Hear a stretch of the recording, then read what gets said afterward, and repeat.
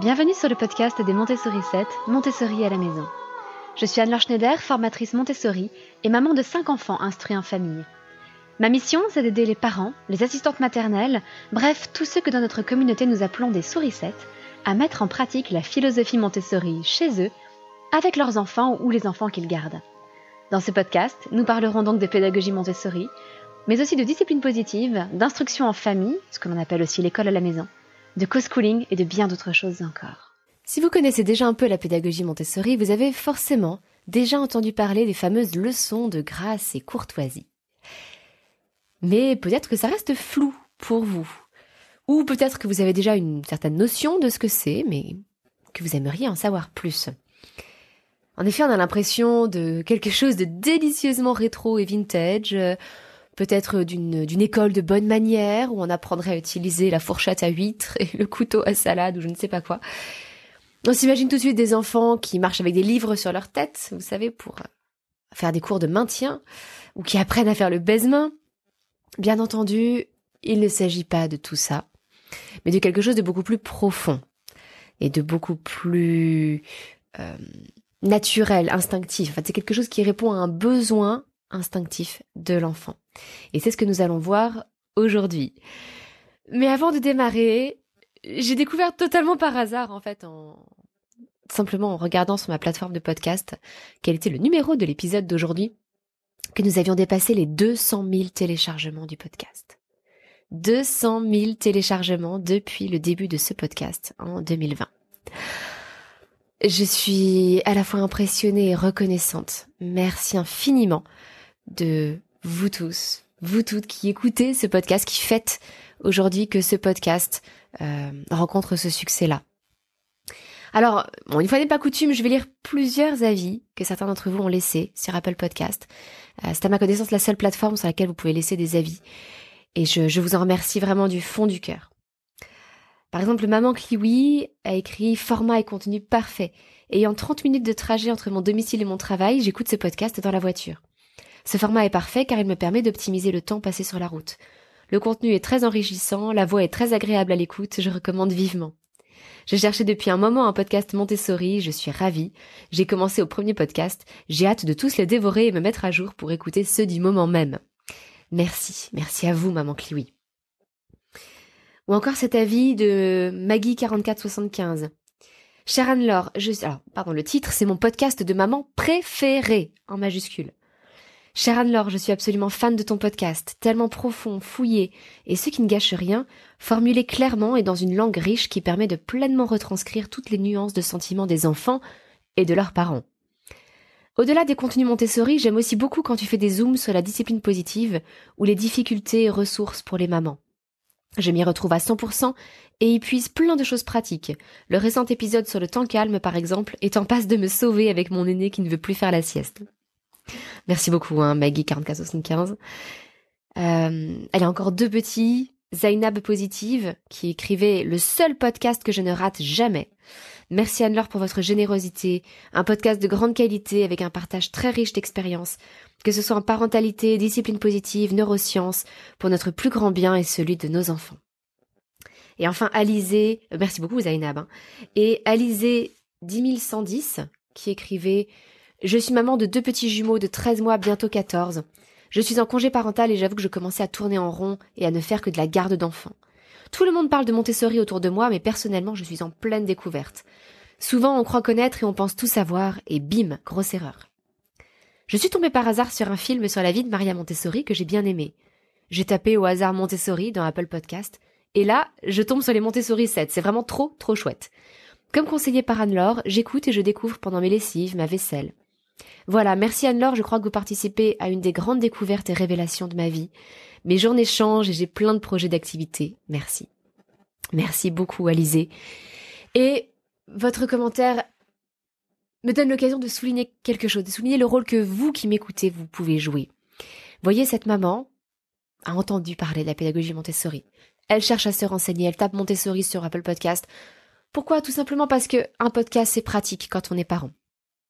Et là, qu'est-ce qu'elle voit? Elle découvre ce podcast. Et pourquoi est-ce qu'elle le découvre? Parce que vous qui m'écoutez, vous avez laissé plus de 150 avis et commentaires. avec 5 étoiles à chaque fois. la moyenne d'à 4,9 étoiles. C'est vraiment extrêmement gratifiant pour moi, évidemment. Mais c'est aussi d'une grande aide parce qu'Apple Podcast, du coup, reçoit le signal que ce podcast est intéressant et le propose rapidement aux personnes qui font des recherches sur le sujet, du style Montessori. Et même pour la personne qui arrive et qui voit tous ces commentaires, c'est extrêmement rassurant. La personne se dit, ok, je suis prête à investir 20 minutes, une demi-heure de mon temps pour écouter un épisode et me faire une idée par moi-même. Et tout le monde est gagnant. Tout le monde est gagnant. Pourquoi? Moi, je suis gagnante évidemment parce que je diffuse et je fais connaître mon travail. La personne qui découvre la pédagogie Montessori est gagnante puisqu'elle découvre des informations qui, d'après ce que vous me dites, sont intéressantes et sont riches. Mais vous aussi, vous êtes gagnant. Pourquoi? Parce que plus ce podcast se développe, plus j'ai d'incitation à le poursuivre déjà, et plus euh, mon travail est encouragé, plus je peux donner aussi, rendre gratuitement, offrir des ressources, diffuser des contenus gratuitement, etc. Donc tout le monde est gagnant dans l'affaire. Si vous avez deux minutes, je vous invite à mettre ce podcast en pause et à aller mettre un petit avis sur Apple Podcast si vous ne l'avez pas déjà fait. Comme vous le voyez, vous aiderez tout le monde dans l'affaire. Donc encore un immense merci à ces plus de 150 personnes qui euh, ont laissé des avis aussi élogieux sur Apple Podcast. Je vous en suis infiniment reconnaissante. Alors je suis consciente que ça fait une grande ouverture de podcast avec une grande digression, mais rassurez-vous, nous allons revenir aux leçons de grâce et de courtoisie. Comme vous l'entendez dans le titre, il y a deux domaines, la grâce et la courtoisie, qui sont malgré tout associés ensemble. Euh, en fait, Maria Montessori aurait très bien pu appeler ça des leçons de maîtrise de ses gestes et de politesse. La maîtrise des mouvements et la politesse. En réalité, non, ça va un cran plus loin. Et ce qui est au fond, et c'est pour ça que ces leçons sont de grâce et de courtoisie sont associées, c'est que ce qui est au fond, c'est le respect le respect de l'autre, le respect de soi, le respect du matériel. Et pas spécifiquement dans cet ordre d'ailleurs. Les trois sont indissociables en réalité. Donc au fond, oui, il s'agit d'un côté d'apprendre à maîtriser ses gestes, d'un autre côté d'apprendre à, être poli, à être euh, bien élevé, disons, avec les autres. Mais on va un cran plus loin. On ne se contente pas de la maîtrise de ses mouvements, mais on va jusqu'à la grâce dans ses mouvements. On ne se contente pas d'être poli, euh, on va un petit peu plus loin, on va faire preuve de délicatesse, d'attention envers les autres, euh, d'amour des autres. En fait, c'est un petit peu, même le, je parlais du respect, mais c'est même le degré supérieur du respect, c'est l'amour de l'autre, l'amour de son cadre, de son environnement, le soin porté à son environnement et l'amour porté à nous-mêmes. Alors pardon, je m'aperçois que ma voix est très, est peut-être très grave par rapport à d'habitude. En fait, c'est la, l'une des premières fois que je réenregistre un podcast. Euh, je l'avais enregistré hier soir et, et en fait, je me suis aperçue, j'ai voulu le faire euh, rapidement. En me disant, c'est bon, je connais le sujet, j'y vais. Et je me suis aperçue à la fin que j'avais oublié plein de choses dont je voulais vous parler. Donc tant pis, je me suis levée tôt ce matin, là je suis en pyjama et je suis en train de vous réenregistrer ce podcast, mais d'où ma voix qui est peut-être un peu une voix du matin, euh, un peu plus grave que d'habitude. Euh, parce qu'il y avait en fait énormément de choses à vous dire sur ces leçons de grâce et de courtoisie. C'est quelque chose qui est un domaine qui est souvent ignoré, voire méprisé, peut-être pas méprisé, mais en tout cas ignoré dans les écoles Montessori ou à la maison par les parents qui veulent mettre en pratique la pédagogie Montessori alors que c'est fondamental. En fait, ces leçons de grâce et courtoisie, c'est ce qui va faire euh, l'éducation à la vie sociale de l'enfant. Donc c'est un domaine absolument fondamental et si ce podcast peut vous aider, peut vous inciter à accorder le temps que ces leçons de grâce et courtoisie méritent, eh bien mon travail sera fait aujourd'hui. Alors évidemment, la première étape pour ces leçons de grâce et de courtoisie, c'est l'exemple que nous donnons. À nous de modéliser les bons comportements, entre guillemets, c'est-à-dire les comportements qui respectent autrui, qui respectent le matériel, et en modélisant auprès de l'enfant que nous nous respectons nous-mêmes aussi.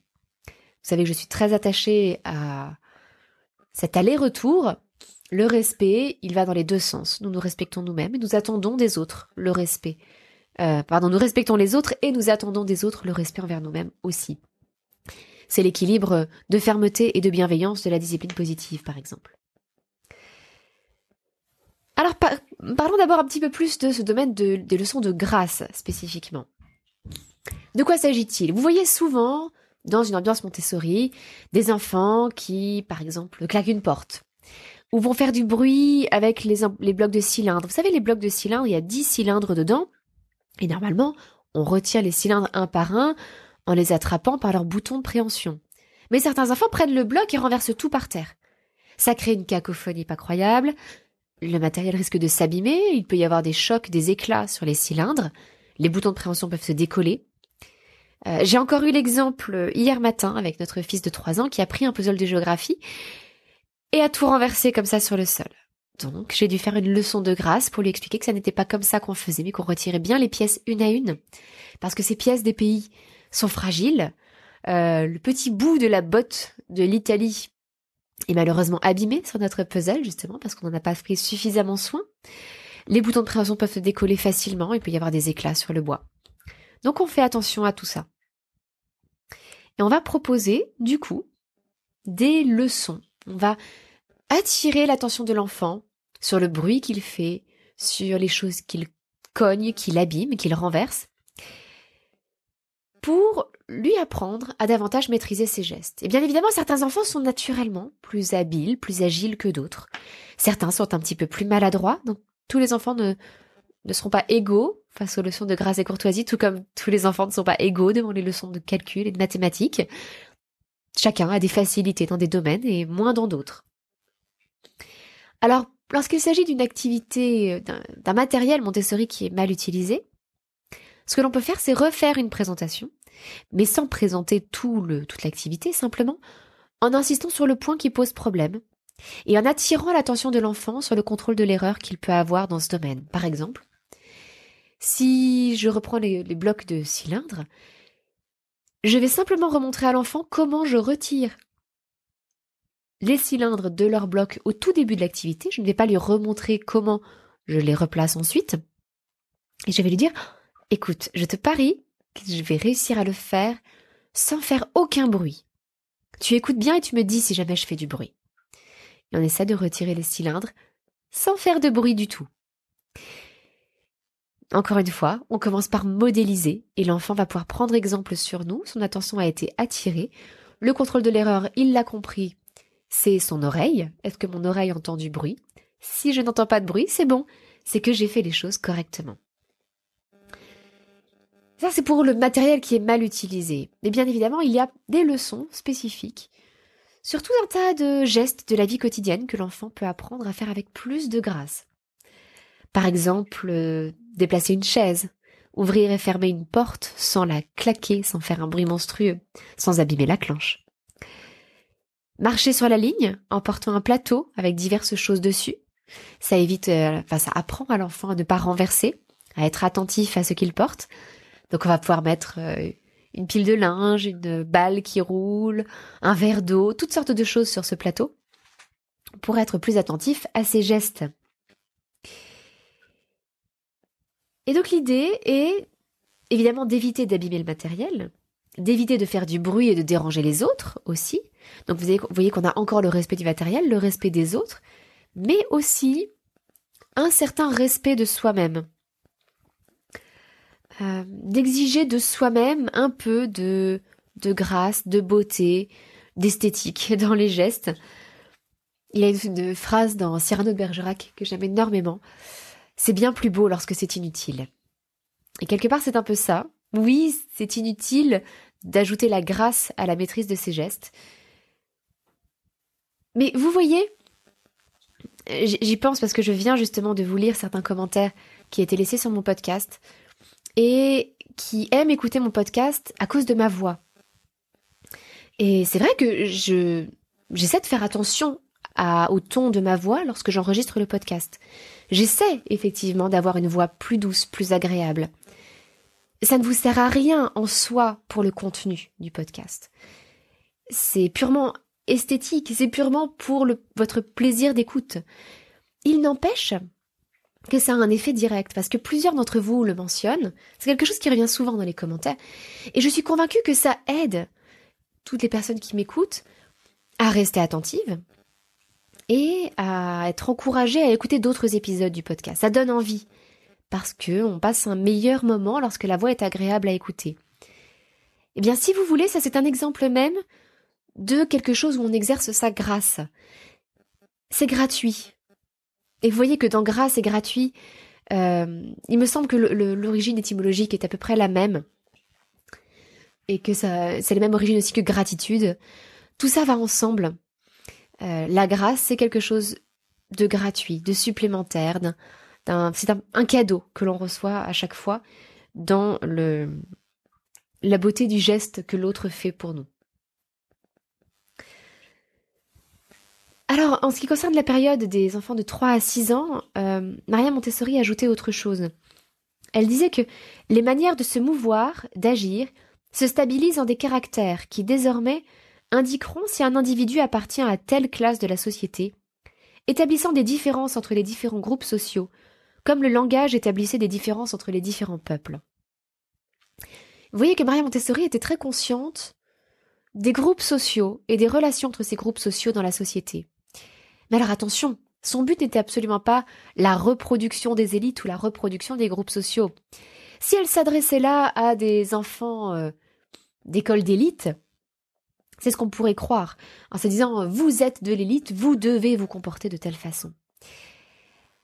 En réalité, c'est très différent. Maria Montessori a commencé par travailler avec des enfants extrêmement défavorisés, en particulier dans le, quartier de San Lorenzo à Rome, où un entrepreneur avait bâti donc des immeubles pour des essentiellement des familles d'ouvriers ou de, euh, de petites gens, si vous voulez. Et il était extrêmement important pour Maria Montessori que justement ces enfants soient tirés vers le haut, soient aussi bien élevés aussi euh, civilisés, comme elle le disait, aussi courtois que des enfants de la haute société. En considérant que on ne ferait pas la différence entre ces enfants et des enfants de la haute société sur la qualité de leur caractère, sur leur politesse, sur leur respect des autres, sur leur respect de l'environnement qui les entoure. J'y reviendrai un petit peu dans la partie sur la courtoisie, mais avant de passer à la courtoisie, euh, l'une des leçons de grâce que l'on apprend aussi aux enfants dans la maîtrise de leur corps, c'est la leçon du silence. Dans la leçon du silence, on demande aux enfants de faire un silence total, ce qui implique évidemment de maîtriser ses gestes. Exactement comme je le fais là en enregistrant ce podcast. Je dois faire attention à ne pas faire de mouvements brusques qui cogneraient le micro, euh, qui le feraient vibrer, à ne pas faire trop de mouvements qui feraient grincer ma chaise, parce que tous ces bruits sont captés puissance 10 par le micro que j'utilise. Eh bien, cela implique une grande maîtrise de soi, et c'est ce que l'on apprend aux enfants dans la leçon du silence. On essaie de leur faire faire le silence le plus complet possible, et d'écouter les bruits qu'il y a autour. Et puis, très doucement, très très doucement, la maîtresse appelle euh, les enfants par leur nom en chuchotant un par un. Ils doivent se lever et venir près d'elle. Et un jour, Maria Montessori a fait une leçon du silence un petit peu plus poussée, disons. Euh, je vais vous lire un petit peu ce passage qui est extrait de la pédagogie scientifique, tome 1 de Maria Montessori. Un jour, me rendant à une maison des enfants, j'ai rencontré dans la cour une maman qui tenait dans son bras son bébé de quatre mois. Le bébé, tranquille et dodu, semblait l'incarnation de la paix. Je le pris dans mes bras où il resta immobile. J'entrais ainsi dans la salle, les enfants tournoyant autour de moi. Je saute certains passages. Nous n'avions pas encore prononcé un mot quand je leur dis Je vous ai apporté un maître. Ils se regardèrent surpris et rirent. Un maître? Oui, parce que personne ne peut rester aussi tranquille que lui. Tous les enfants s'installèrent immobiles à leur place. Même les jambes, personne ne peut garder les jambes aussi immobiles. Et tous d'ajuster soigneusement leurs jambes pour qu'elles ne soient pas en désordre. Je les regardai en souriant. Oui, mais elles ne seront jamais aussi immobiles que les siennes. Vous les bougez un petit peu, lui pas. Personne ne peut être comme lui.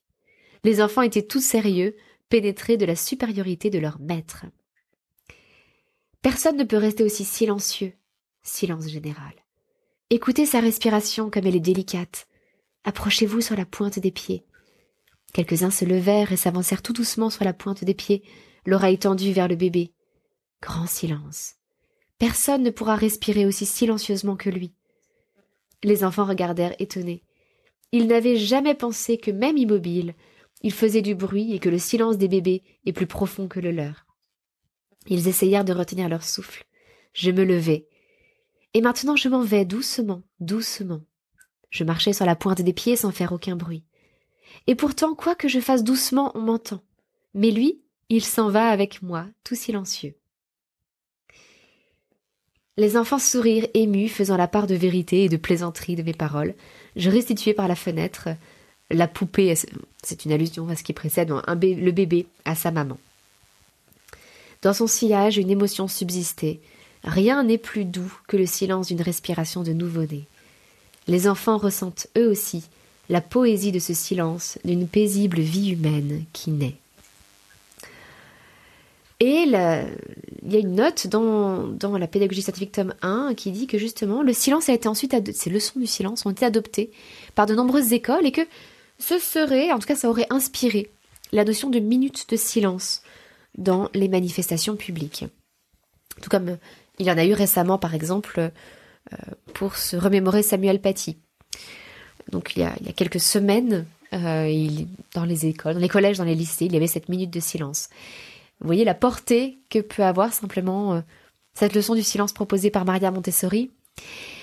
Et pour en revenir à ce que je vous disais sur les différentes classes sociales, vous voyez que l'exemple qu'elle donne aux enfants, ça n'est pas elle-même, ça n'est pas un adulte, un maître adulte. Le maître qu'elle leur propose, c'est le nourrisson.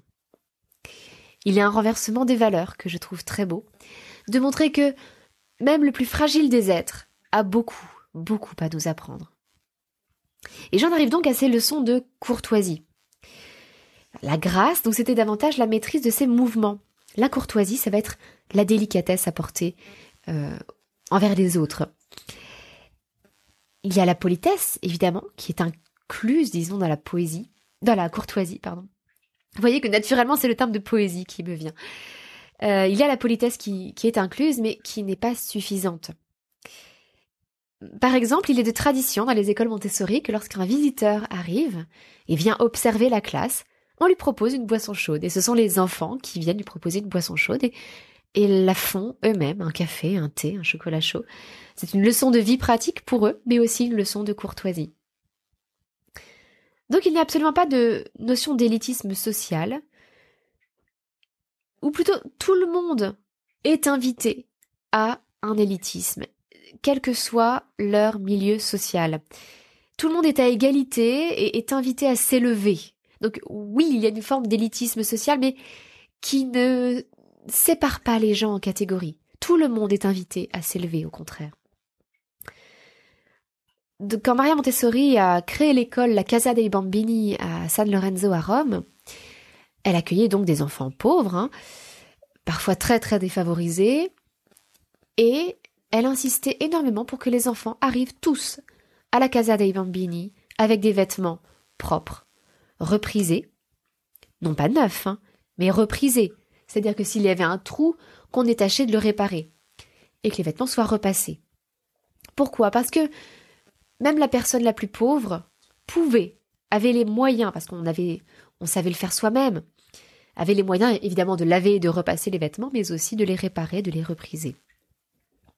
Et c'est une marque de respect envers soi-même que de porter des vêtements propres, reprisés, repassés.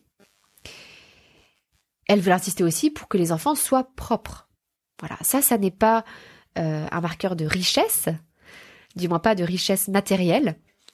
Tout le monde peut être propre. En tout cas, à cette époque où l'accès à l'eau, etc., était quand même euh, public. C'est évidemment plus difficile aujourd'hui euh, quand on vit dans la rue et qu'on n'a pas accès, par exemple, à, à de l'eau, à de l'eau propre. Ou dans d'autres pays du monde où l'accès à l'eau propre est une difficulté. Mais là, les circonstances faisaient que tout le monde pouvait se le permettre. Et donc, c'était ce marqueur-là qui était un marqueur de respect. Simplement la propreté, l'hygiène. Et pour vous dire à quel point la notion d'égalité sociale était importante pour elle, voici ce qu'elle écrit. La société a construit murs et barrières. La nouvelle éducation doit se détruire, doit les détruire, pardon, et montrer un horizon libre. La nouvelle éducation est une révolution, c'est la révolution non violente. Si elle triomphe, les révolutions violentes seront rendues impossibles. Il s'agit donc bien d'abattre les murs et les barrières entre les gens, mais non pas en montant sur des barricades, mais plutôt en montrant à tous les hommes leur point commun, leur nature d'homme, qui est commune, et de les inviter à faire preuve d'amour et de délicatesse les uns envers les autres. Alors comment fait-on? Comment explique-t-on à l'enfant? Comment être courtois? Tout simplement en faisant des jeux de rôle. On va pas se lancer dans des grandes explications théoriques. Mais on va aider l'enfant à se mettre à la place de l'autre. Parce que dans ces jeux de rôle, l'enfant va jouer successivement euh, le rôle de l'adulte, par exemple, et le rôle de l'enfant. Ou le rôle d'un autre enfant et son rôle à lui. Ce sont des leçons qui sont collectives. Dans une classe Montessori, on les fait avec toute la classe ou, un bon groupe de la classe. Parfois difficile avec 20 euh, ou 30 élèves, on peut le faire avec 10 ou 15, mais ce sont des leçons collectives. Et elles peuvent se pratiquer, je dirais, de, deux façons. Ou bien sous la forme simplement d'un jeu de rôle. Euh, par exemple, euh, que, fait-on pour se saluer le matin? Que fait-on quand on va à la boulangerie? Et où l'adulte va pas imposer, mais diriger le jeu de rôle en disant bah, on commence par dire bonjour, bonjour madame, bonjour monsieur. Et que fait-on ensuite? On dirait je voudrais une baguette de pain, s'il vous plaît. Donc l'adulte va diriger un petit peu ce jeu de rôle euh, pour ces situations-là. Et puis il y a d'autres euh, jeux de rôle, d'autres leçons de courtoisie où on va commencer par une espèce de brainstorming et se dire par exemple, bien si vous êtes invité chez quelqu'un, comment pouvez-vous être un invité agréable? Que pouvez-vous faire pour que la personne qui vous accueille soit heureuse de vous avoir accueilli? Peut-être que l'un va dire, ben, on peut dire bonjour en arrivant, euh, on peut enlever ses chaussures pour ne pas salir, euh, on peut se lever et proposer de débarrasser la table, on peut ranger les jouets avant de partir, voilà, ce genre de choses. Et donc on peut réfléchir ensemble avec les enfants, les enfants qui souvent savent faire preuve d'une très grande délicatesse. C'est quelque chose qui est, euh, qui je trouve, très naturel chez les très jeunes enfants, parce qu'ils sont instinctivement d'une grande sensibilité envers les émotions des autres. Ils, ce sont des éponges émotionnelles, ils perçoivent très bien ce que les autres ressentent. Et du coup, ils arrivent à trouver des solutions pleines de tact et de délicatesse pour aider l'autre à se sentir mieux. Euh, donc une fois qu'on a fait ce brainstorming dans ce, cette modalité-là de la leçon de courtoisie, on passe quand même à l'étape du jeu de rôle parce que c'est important de tester nos hypothèses et de se dire bah, effectivement est-ce que si je si je me lève pour proposer de débarrasser est-ce que en face la personne euh, trouve cela agréable? Donc on passe systématiquement par ces scénettes ces jeux de rôle. Quelques exemples de leçons que l'on peut proposer c'est comment saluer quelqu'un et ça va dépendre évidemment s'il s'agit euh, de quelqu'un qu'on connaît très bien, quelqu'un de sa famille, d'un adulte, d'un enfant, de quelqu'un de notre âge, etc. Comment peut-on demander si on peut utiliser ce jouet? Euh, Demander à un enfant de nous prêter un jouet? Comment fait-on bah, Sur un toboggan au parc, par exemple, euh, où il y a une forme d'étiquette sur un toboggan au parc? C'est-à-dire qu'on ne reste pas en bas du toboggan s'il y a des enfants qui veulent descendre. Euh, personnellement, ma politique en la matière, euh, c'est que mes enfants ont le droit de remonter le toboggan à l'envers. Mais s'il y a quelqu'un en haut qui veut descendre, eh ben, ils redescendent et, tant pis. Et tant pis, ils ne terminent pas leur montée. Euh, celui qui descend a la priorité, si vous voulez. on peut aussi, on peut aussi apprendre comment demander pardon. Faire quand on reçoit quelqu'un chez soi pour qu'il se sente bien, pour qu'il se sente à l'aise? À quoi peut-on penser? Tout ça, ce sont des leçons de courtoisie.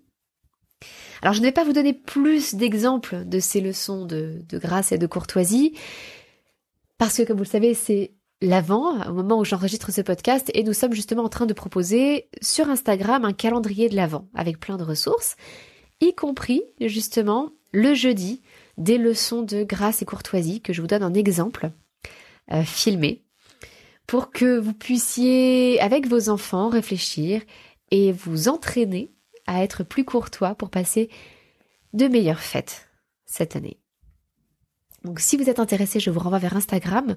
Abonnez-vous à notre compte Montessori7 pour pouvoir visionner ces leçons de grâce et de courtoisie. Euh, si jamais vous écoutez ce podcast beaucoup plus tard, bah, n'hésitez pas à aller fouiller un peu dans les archives du compte Instagram. Normalement, elles y seront toujours. Voilà le podcast pour aujourd'hui. Si jamais vous n'avez pas fait tout à l'heure un petit rappel, n'hésitez pas à faire connaître davantage ce podcast aux gens qui vous entourent en laissant un avis sur Apple Podcast ou pourquoi pas en envoyant directement le lien de l'épisode à des membres de votre entourage ou le lien d'un autre épisode que vous avez beaucoup aimé en le partageant sur les réseaux sociaux, etc. C'est vous qui faites la réussite de ce podcast et je vous en remercie encore du fond du cœur. À très bientôt. Passez une bonne semaine. Votre petite sourisette, Anne-Laure.